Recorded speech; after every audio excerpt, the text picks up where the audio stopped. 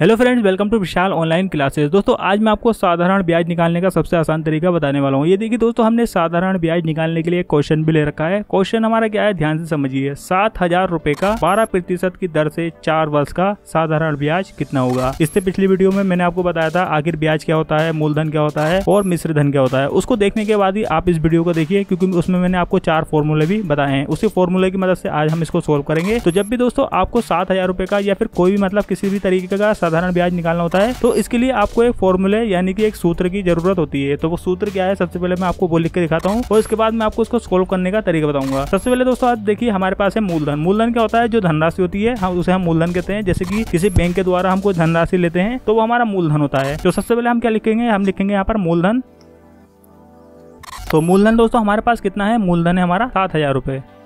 अब इसके बाद दोस्तों, हमारी दर कितनी है? ये देखिए, कितनी दर है? बारह प्रतिशत। तो यहाँ पर हम लिखेंगे दर।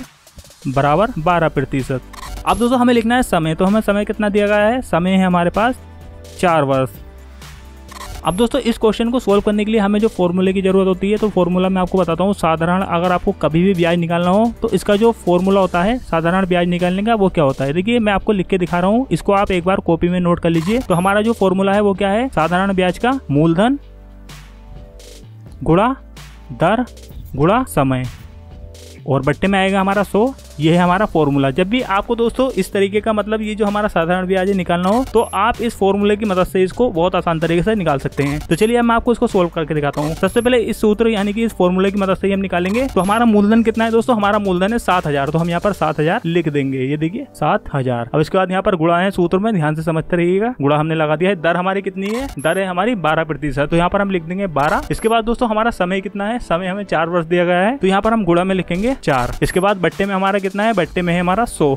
अब दोस्तों, यहाँ पर इसको कैसे सोल्व करना है? ध्यान से समझिए। ये जो हमारे दो ज़ीरो है ना हंड्रेड वाले, ये हमारे यहाँ से कट हो जाएँगे। ये देखिए, दो ज़ीरो से दो ज़ीरो कट हुए। अब हमें इसको सोल्व करना है। तो सोल्व करने के लिए दोस्तों, अब हम नीचे आएँगे और नीचे बराबर में हम लिख देंगे सत्तर, क्योंकि हमारे पास यहाँ पर सत्तर बचा है गुड़ा और यहाँ पर हमारे पास है बारह, और ये है गुड़ा और ये है चार। अब इसको हम सोल्व करेंगे मतलब हम गुड़ा करेंगे। तो जैसे कि हम सत्तर, बारह और चार को गुड़ा करेंगे तो हमारा आंसर कितना आएगा? हमारा आंसर आएगा तैतीस सौ साठ।